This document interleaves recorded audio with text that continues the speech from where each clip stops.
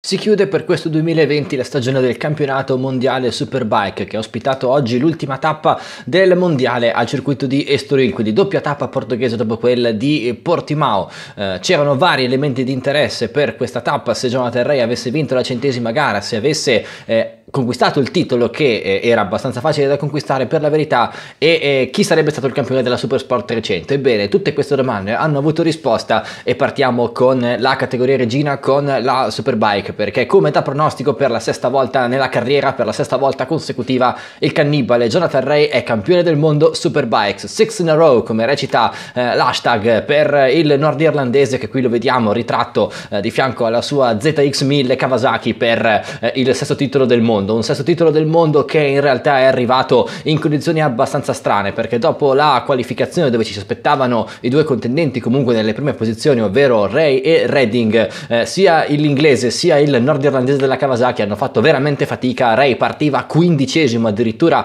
eh, dopo la qualificazione per gara 1 e Redding addirittura ultimo per un problema tecnico. Eh, la carriera di tornasole diciamo di questo campionato del mondo. È arrivato a 16 giri dalla fine dove Scott Redding per un problema tecnico ha dovuto abdicare, si è dovuto ritirare e ha consegnato di fatto un titolo che per la matematica teneva aperto ancora i conti tra Redding e Ray ma era abbastanza improbabile che il cannibale perdesse questo titolo del mondo. Il sesto consecutivo che dunque ancora una volta arriva eh, a casa Kawasaki per un campione, un fuoriclasse che è Jonathan Ray, un Jonathan Ray che peraltro ha pagato eh, la posizione arretrata di qualificazione perché non ha vinto addirittura nessuna delle tre gare, quindi uno dei tre elementi di interesse, ovvero eh, se Jonathan Ray avesse raggiunto le 100 vittorie o meno in carriera in Superbike è venuto meno perché eh, Ray si è piazzato eh, quarto in gara 1 ha fatto podio in eh, gara 2 se non sbaglio eh, e appunto nella gara della domenica è, è caduto ed è arrivato quattordicesimo. Quindi eh, aspetteremo l'anno prossimo per le 100 vittorie ma dobbiamo comunque celebrare ancora una volta quello che secondo me è un fuori classe di questa categoria. È un campione che eh, punterà ancora una volta a riscrivere pagine e pagine importanti di storia anche nell'anno prossimo perché il pacchetto eh, Kawasaki Ray è effettivamente imbattibile un po' magari in misura minore rispetto a quello che fu Mark Mark Marquez Honda in MotoGP. Eh, però è evidentemente lui il go to guide evidentemente lui eh, coloro che Yamaha e soprattutto Ducati dovranno cercare di battere il prossimo anno. Ma nel presente dobbiamo eh, inchinarci di fronte a tanta bellezza e a tanto talento e a questo fuori classe nordirlandese per quanto eh, io non sia un tifoso della Kawasaki bensì eh, della Ducati in particolare del team ufficiale Aruba che comunque oggi si è tolta una grande soddisfazione. Ray appunto con 99 vittorie, una costanza eh, straordinaria che è sempre stato il marchio di fabbrica eh, del nord irlandese va a dominare ancora una volta eh, un campionato del mondo che tra l'altro non era partito nei migliori auspici perché a Phillip Island eh, Ray era caduto e Redding aveva fatto tre volte sul podio, addirittura Alex Lowe, compagno di squadra di eh, Jonathan Ray era in testa al campionato del mondo prima del lockdown, eh, nella ripresa poi estiva autunnale il cannibale ha dimostrato che ancora una volta è lui l'uomo da battere si è portato a casa il sesto titolo consecutivo eh, in classe regina. E attenzione perché la Kawasaki svilupperà poi il progetto di questa moto già nell'anno prossimo e dunque bisognerà vedere quanti step potrà fare eh, in avanti la casa giapponese per eh, fornire ancora una volta a Ray il settimo eventuale titolo del mondo consecutivo. Per la cronaca ci sono stati anche dei vincitori in realtà perché effettivamente eh, il titolo del mondo Ray l'ha vinto sabato ma dobbiamo anche dare spazio effettivamente alle gare che ci sono svolte perché come vi dicevo Ray ha avuto eh, gestione diciamo in queste tre gare della domenica, in particolare eh, alla gara della domenica pomeriggio, eh, ma le due gare iniziali, quindi la sprint race e soprattutto la gara 1, sono state dominate da un solo uomo che è sulla Yamaha ufficiale, ovvero il turco Toprak Razgatioglu, che dunque va a vincere la eh, quinta, diciamo, volta in carriera considerato anche la gara della domenica mattina eh, dimostrando un passo sontuoso perché su questa pista portoghese di Estoril il turco di casa Yamaha si è trovato veramente benissimo eh, a partire già dalla qualificazione del sabato. Eh, un dominio assoluto rispetto alla concorrenza eh, consegna al turco due vittorie sulle prime due gare. Purtroppo per lui non riesce a vincere eh, gara 3 se così possiamo chiamarla la gara della domenica pomeriggio perché sulla sua strada trova un altro pilota che eh, ha dato veramente l'anima e mi ha fatto veramente eh, esaltare sul divano. Sto parlando del pilota della Ducati ufficiale Chaz Davis che all'ultima gara della carriera in Superbike con la Ducati quantomeno eh, si toglie il lusso eh, di vincere una competizione che lo ha visto dominare. Eh, Chaz Davis ha avuto un passo veramente mostruoso, eh, costantemente sul 36 basso, 37 ehm, alto Insomma, tanta roba per un pilota che era all'ultima gara della carriera con la Ducati ufficiale, il suo posto verrà preso da eh, Michael Rinaldi che eh, in gara 2 eh, ha fatto sesto, eh, comunque un risultato consono alla moto clienti eh, che ha. È un peccato perché da una parte eh, perdiamo un gran bel pilota che è Chas Davis,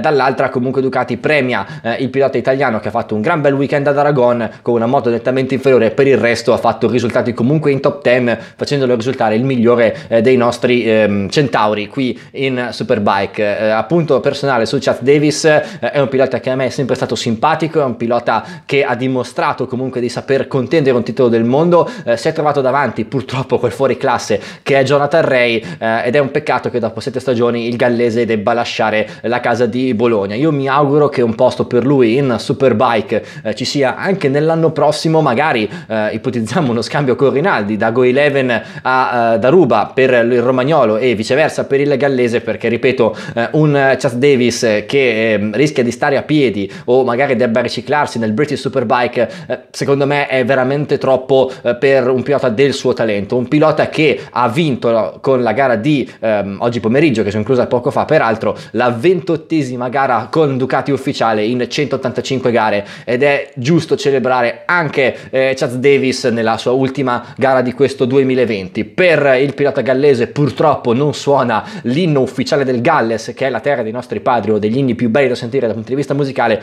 ma suona God Save the Queen e con questa vittoria il gallese si issa sempre di più al terzo posto in classifica del campionato ed è veramente, ripeto, un peccato che l'anno prossimo, almeno a oggi, eh, il terzo classificato della classifica del mondiale Superbike non abbia neanche una moto per l'anno prossimo. Eh, Top Razgatioglu, nonostante le due vittorie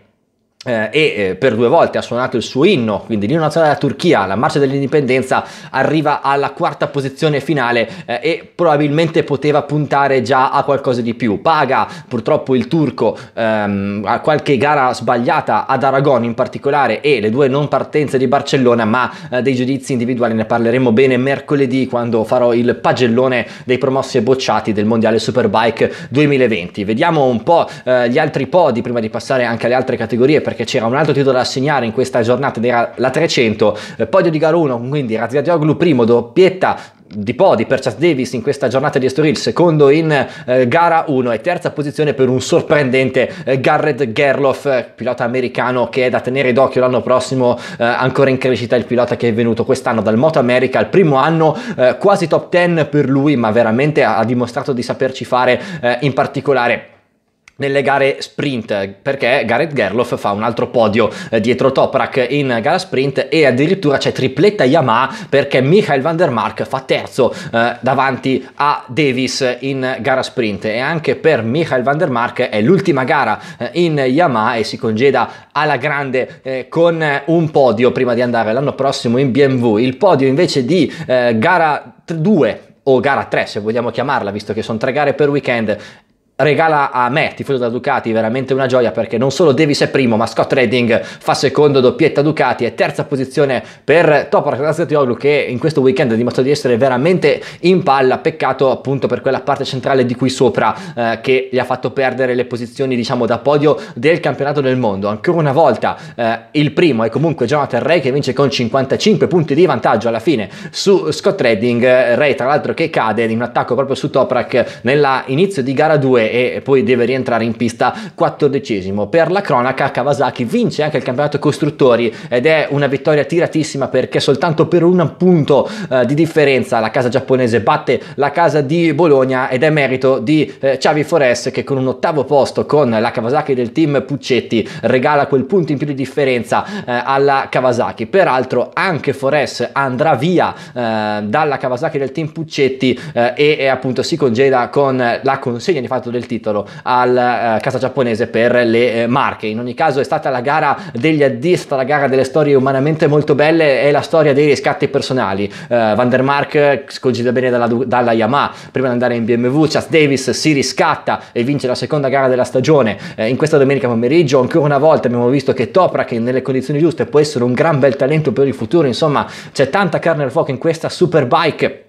2020 che si è appena conclusa e ce ne sarà ancora di più nella Superbike 2021. Parentesi sugli altri italiani, il migliore in classifica rimane Michael Rinaldi che fa ancora una volta facile top 10 in tutte e tre le gare, eh, Federico Caricasulo fa punti eh, soltanto nella terza competizione ed eguaglia il miglior stato in carriera prima di tornare eh, evidentemente in Supersport 600 l'anno prossimo. Eh, un altro italiano che era presente in questa gara era Matteo Ferrari che ha sostituito eh, Samuele Cavalieri e Marco Melandri sulla Ducati del Team Barni, punti per per il vice campione mondiale di Formula E di quest'anno e campione mondiale di Formula E per lo scorso anno. Uh, in ogni caso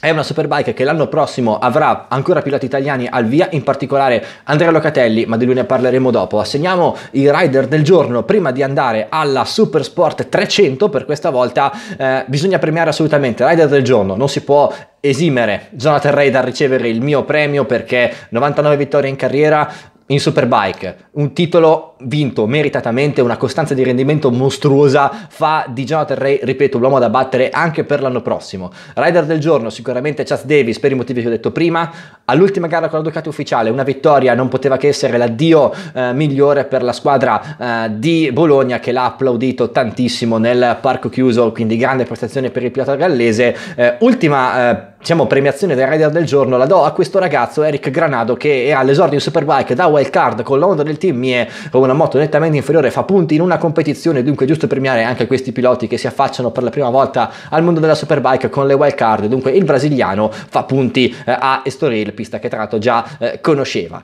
Eh, mercoledì dunque parleremo del pagellone per quanto riguarda la Superbike. Chiudiamo invece il Racing Podcast per questa categoria parlando della 300 e della 600 perché nel nella Supersport 300 c'era un titolo del mondo ancora da assegnare e se la giocavano due olandesi, ovvero Jeffrey Buis e Scott Deroux e, e il titolo del mondo della 300 di quest'anno. È andato a questo ragazzo, a Jeffrey Buis, olandese del team MTM Motoport che è arrivato davanti a Scott Deroux nella prima delle due gare e ha diciamo vinto a 19 anni il primo titolo del mondo della carriera per un team MTM che ha veramente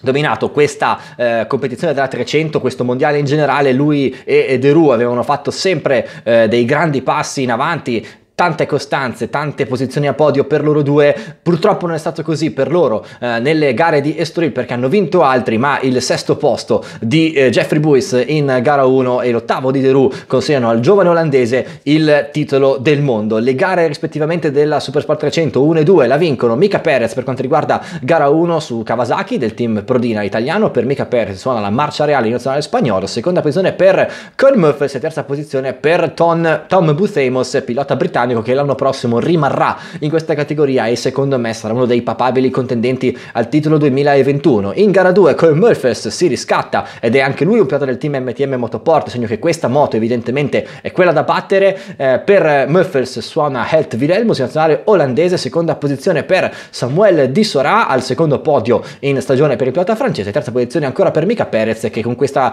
ehm, posizionamento chiude in eh, quinta piazza il campionato a 112 punti punti. Il mondiale Jeffrey Buis lo vince con una caterba di punti di vantaggio su De Roux che in gara 2 finisce addirittura fuori dai punti. Il migliore degli italiani in classifica è stato Thomas Brianti che è dovuto passare per la gara di qualificazione eh, in questa gara portoghese e finisce undicesimo in generale a 80 punti. Chiudiamo con la 600 che anche questa ha chiuso i battenti e stranamente non poteva mancare la vittoria di Andrea Locatelli, il dominatore assoluto di questa competizione, ha vinto 13, anzi 12 gare sulle 15 disputate e vince gara 1 in scioltezza di fatto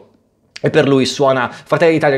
l'inno nazionale. Seconda posizione per Filippo Oettel che fa il quarto podio in stagione con la Kawasaki del team Puccetti e si conferma sul terzo gradino del podio Hannes Sommer di cui avevo parlato già nel video scorso eh, molto bene ancora una volta il pilota estone. Eh, si congeda dalla Supersport Locatelli, si congeda anche Lucas Baia che eh, con la Kawasaki del team Puccetti va a vincere gara 2 e l'anno prossimo il francese sarà un rookie di lusso della Superbike perché rimarrà con Puccetti ma andrà a sostituire Xavi Forestieri Flores in Kawasaki, Maya a 32 anni avrà l'occasione di debuttare in Superbike e si congeda dalla Supersport con la vittoria ipermeritata